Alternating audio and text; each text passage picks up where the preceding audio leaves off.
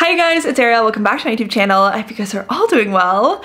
Today we're going to be talking about the Stanley Cup craze that has taken all of social media by a storm. Get up, get up! Stupid. Get up, get up! We just watched one by one and the line was massive. This is my updated um, tumbler wall. I've seen so many other good videos by other creators on YouTube and on TikTok, but I wanted to add my own perspective to talk about the Stanley Cup experience in France, in Europe, and to talk more about why I think the Stanley brand and specifically the Quencher product failed to gain popularity in France and in Europe. I think for anyone outside of the US, the whole Stanley Cup hype is baffling. Not because I mean to say that all Americans own a Stanley or all Americans are Stanley Cup addicted, but the videos that are coming out of the US and going viral and making it onto the French TikTok for you page or like on the Instagram Reels page are kind of insane. I think that they give anyone outside of the US major culture shock. And I'll give you guys a couple examples of what I'm talking about because they really are very crazy. The, the first set of viral Stanley videos that I think made it to my For You page in France were the ones about the Starbucks limited edition collab and the Valentine's Day limited edition collection, like the pink and the red cups. And all of a sudden you see these viral videos of people going to Target and getting in line at midnight and waiting for the store to open and just people, hundreds of people in line. There was this one dad who went viral with his daughter. They came to a Target at midnight. They set up these lawn chairs. We spent the night at Target for the new Stanley Starbucks cup. Yes, I know what you're thinking. It's a cup. Why, what are you doing? On the other hand, I love my daughter and we were bored. So we got there like at 1.40 in the morning and it was a ghost town because it was Target in the middle of the night. But once we saw the cup, we knew we were in the right spot. We brought the new puppy with us and just waited for people to show up. And they did. So we hopped out of the car, brought the chairs and made sure we were first in line. So it was almost 3 o'clock in the morning and that's when people started to show up. I mean, these people are dedicated. We just watched one by one and the line was massive and it was cold. Like 40 degrees cold. And then the store's open and people are rushing in and pushing each other on the ground and people are falling all over the place and like elbowing each other to get to these cups and stores having to put limits on what you can buy. One over here and two over here.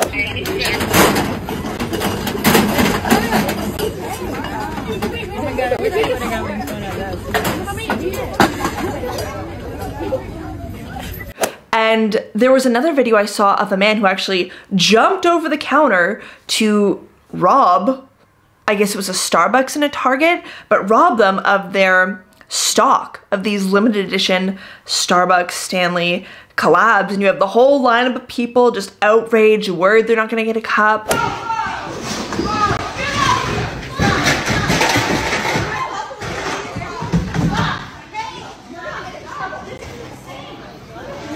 Loser. Get up, get up! Stupid. Get up, get up! Stop him! Stop him! Stop him! Stop him! Yeah, stop him! And to see this, not just hype, but kind of violence to get access to buy a product is just insane. I don't think you would ever see that in France or, or Europe. And then after Christmas, I also started to see all of these videos of children, specifically young girls, opening their Christmas gifts and getting their first Stanley Cup and just screaming with joy, being insanely happy that, that they got these cups for Christmas. And I want to show examples because I think it's kind of weird to repost 11 year old girls unwrapping their Christmas gifts and stuff. But it was just insane to see these kids go feral for these Stanley Cups. And then you also had another mom who went viral for buying her, I think it was a nine year old daughter, a Stanley knockoff. This is the cup that we got our daughter for Christmas. This is not a Stanley. This is a $9.98 Walmart cup that she said she thought was cute. She is nine years old. On the second day back to school after Christmas break, she comes home. She's not crying. She's just upset.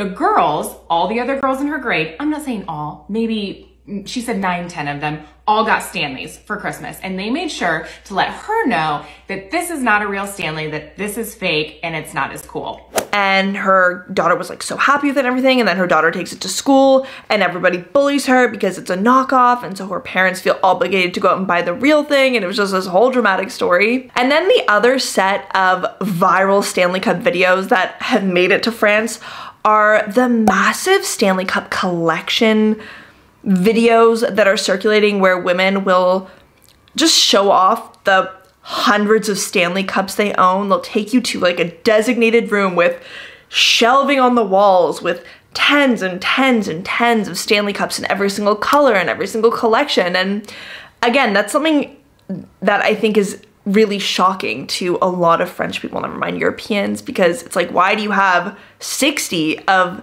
the same really expensive cup. And then two and a half months ago, I was on Instagram and I started to see ads for the Stanley Cup. And I was like, no, please don't have this trend come to France. I will lose it if people start going feral for Stanley Cups in Paris. But then I clicked on the ad just because I was curious and I saw the price of these cups and I knew immediately that this was never ever gonna fly in France. And so that's the first reason that I think the Stanley Cup trend never caught on in France is because Stanley Europe has priced these cups for Europeans at 49 euros. And if you do a quick money conversion, that's equal to 53 American dollars. And keep in mind that these are being sold in the US for $45. So they are marketing this product to Europeans for even more than what they're asking Americans to pay. And the problem with this is that generally speaking, Europeans earn far less on average than Americans do. And I actually did some research on this to get the real numbers for you.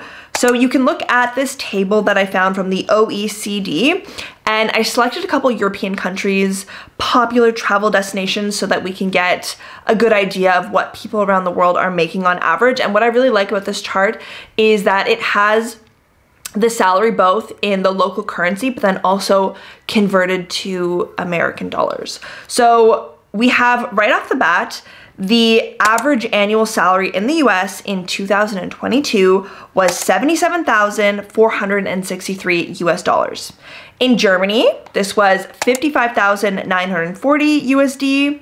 In Greece, it was 25,979 USD. In Spain, it was 42,859 USD, and in France, it was 52,764 USD, which is 30% less than the average American salary. So it really does not make sense to ask people who earn between 30 and 60% less than Americans to pay more than Americans for this trendy cup. Now, this isn't an economics class, okay? We're not gonna talk about salaries around the world, but European salaries are lower than American salaries for a lot of reasons. The first ones that come to the top of my head are the fact that in France, for example, post-grad education is, is free. And if it's not free, it's a couple hundred euros.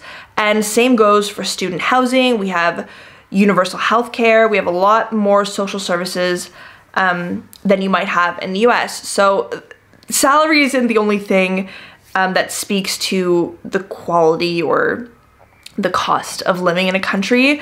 But generally speaking, Europeans do earn less than Americans, which means that here in France, for example, we have less disposable income on a global scale. And it means that products that are made in Europe, like local products that are made and sold here, reflect the salaries that we earn. And so when an American company tries to sell a product that is four times the price of what you're paying for European products, it doesn't make sense to switch over to the insanely expensive American product, you know? Now, my second point is where are people in France going to store these massively oversized water bottles. Like where in my 15 meter squared apartment in Paris am I gonna fit one of these water bottles, let alone an entire collection of them? People have given me a lot of flack when I talked about this in previous videos, but statistically and factually speaking, Europeans and French people live in smaller spaces when you compare that to the average American. And again, I came with the receipts. We have the Mises Institute that reported that while the US has approximately on average 2.4 rooms per person in a house, France only has 1.8. And while the average floor space of a newly built home in the US is 214 meters squared, in France it is 113 meters squared, almost half the size. You guys, before I moved in with Jean, I was truly living in a 15 meter squared apartment, which is the size of a small kitchen. I had a pull-out couch that opened into my kitchen to sleep on. Where was I gonna install a shelf to put my 65 Stanley Cups? You know, it's just, logistically speaking, French people do not have the kind of space to store this kind of product. And moving on to my third point, when we're talking about the logistics of these cups, these cups are designed for people who are living in big houses, but also who drive around a lot in their car. And again, statistically speaking, Americans are more likely to be driving in their car than Europeans. I got some more receipts. According to Statista, 23% of French people get around via public transportation, while this is only the case for 13% of Americans. And moreover, if we look at the amount of cars people have in the US, per 1,000 people in the US, 834 own a car, while this is only 570 in France. And to be honest, the Stanley design is great for a car. You have that thinner bottom part of the cup that fits nicely into a cup holder. It holds a lot of water, it keeps it cold. It's great for being on the road in your car for long periods of time. But again, tell me how I am gonna bring this massive purse-sized water bottle with me on the Parisian metro when it is so crowded sometimes that I barely even have like room for my own body, you know? And when we're talking about public transportation as well, like what about the germs? I can't even imagine the bacteria and the disease that is just going to be all over the straw that sticks out of the cup that isn't isn't coverable in any way when I'm taking the metro, when I'm taking the bus, when I'm getting on a public transportation bike. There's just no way that it is sanitary for people who use public transportation often to be drinking out of these cups. And again, when you're in your own car, you don't have to worry about these things about the sanitation and the cleanliness of the space where your straw is exposed because it's your own personal car. So that is all. Those are my three main reasons as to why I think the Stanley Cup never became popular in France, will never become popular, and products like it will never fly here. I think that the Stanley Cup was designed for an American consumer who has the money, the space, and the cars to use this cup that French people don't necessarily have.